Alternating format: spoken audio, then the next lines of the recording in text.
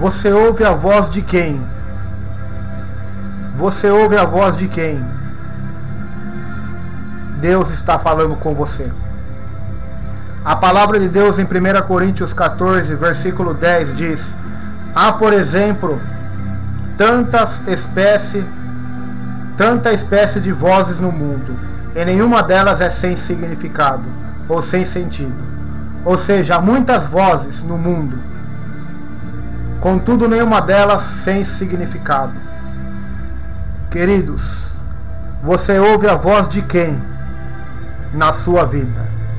De quem você tem ouvido a voz? A voz de Deus? A voz do seu coração? A voz de outras pessoas? A voz dos seus amigos? Dos seus familiares? A voz do mundo? Da mídia?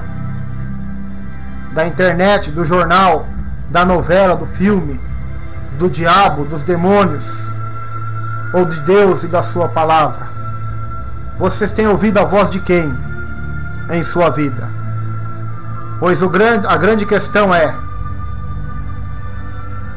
que há muitas vozes que querem falar conosco, mas a única que devemos dar ouvido é a de Deus. Pois o nosso coração, diz a Bíblia, é enganoso. Então a nossa voz do coração pode ser enganosa, duvidosa. Mas a voz de Deus, da Sua palavra, jamais será enganosa. Então, portanto, devemos ouvir a voz de Deus. Vemos na Bíblia homens que ouviram a voz do povo, como na crucificação: soltem Jesus ou Barrabás. Então a voz do povo escolheu Barrabás. Mais uma vez a voz do povo errou. A voz do povo escolheu Saul como rei. E mais uma vez errou, pois a voz de Deus tinha escolhido Davi. Queridos, a voz do povo, a voz do mundo não é a voz de Deus. A voz da maioria, a voz da multidão, não é a voz de Deus. Muitos acham que Deus está com a maioria. Muitos acham que por uma igreja estar cheia, abarrotada de gente, é o sinal que Deus está ali no meio. Se caso fosse assim, então Deus estaria lá em Meca, lá na terra dos islamismos, onde é uma das maiores, ou por que não dizer a maior religião mundial, onde tem o maior número de adeptos. Deus estaria lá se fosse pela multidão se fosse pela voz da maioria, se fosse pela voz da moda da cultura. Não, irmãos. Deus só pode estar conosco, só está quando nós estamos em Sua palavra, ouvindo a Sua voz, obedecendo às Suas leis, às Suas palavras. Pois se o deixarmos, como diz a própria Bíblia, Ele também nos deixará. Então, devemos ouvir a voz de Deus. O jovem Samuel estava servindo ao Senhor perante Eli. E ainda ele não conhecia a palavra do Senhor, a palavra de Deus, as visões era muito rara naqueles tempos. Antes da lâmpada se apagar, Deus chama o menino. O menino por três vezes achou que era sacerdote Eli que o chamava. Até que ele compreendeu que era Deus que chamava o menino. Então ele disse a Samuel: Samuel, quando a voz te chamar, você diga: Fala, Senhor, porque o teu servo ouve. Então Samuel fez isso. E a partir de então ele começou a ouvir a voz do Todo-Poderoso. Queridos, devemos aprender a ouvir a voz de Deus. Talvez você está como Samuel. Deus está te chamando, Deus está falando com você. E você tem achado que é o pastor, que é o sacerdote, que é o irmão, que é a irmã, que é a circunstância. E é Deus falando.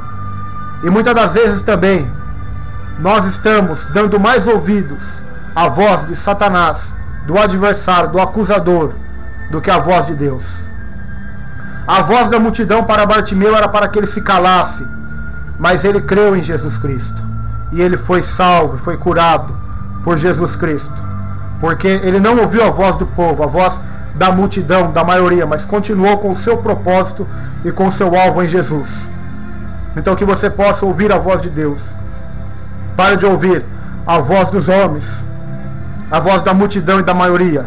Pois Deus não procura quantidade, Ele procura qualidade.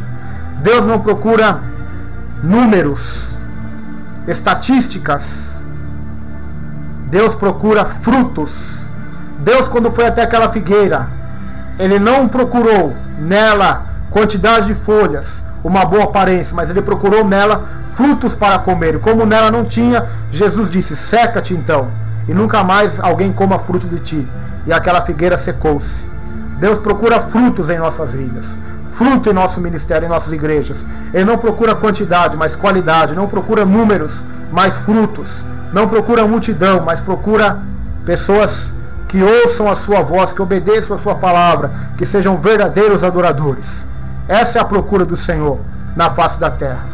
A voz do povo não é e nunca será a voz de Deus, pois a voz do povo é influenciado pela emoção, é marionete da mídia muitas das vezes, é marionete da circunstância, é levada pela emoção de seus corações, ou até mesmo influenciada por Satanás. Mas a voz de Deus permanece a mesma. A voz de muitos no Congresso brasileiro é que homossexualismo deve ser aprovado e deve ser uma lei para que haja casamentos e quem falar contra pode ser processado para a cadeia. Pois qual é o pensamento deles acerca de Deus? Que Deus é amor. E um Deus de amor não pode levantar, levar pessoas ao inferno, mas aceita todos como são e podem continuar vivendo como é.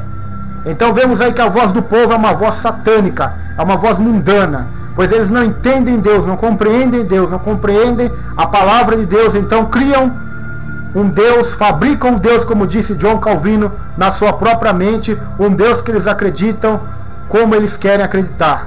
Mas o Deus bíblico, o Deus da Bíblia, o Deus das Escrituras, ele é amor, mas ele é justiça, ele é misericórdia, ele é verdade. E ele, quando salva um homem, uma mulher, ele o salva para o libertar da prostituição, das drogas, do homossexualismo, da mentira, da avareza e transforma este homem, esta mulher, numa nova criatura. Esse é o Deus da Bíblia. Ele recebe, ele aceita todos como são quando eles vão até o Senhor Jesus.